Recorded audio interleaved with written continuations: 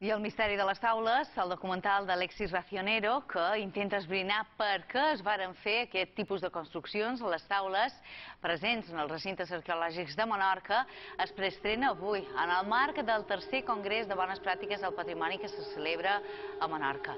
L'audiovisual, coproduït per IB3 Televisió i finançat també amb aportacions particulars i institucionals, es posa diverses teories sobre el seu origen.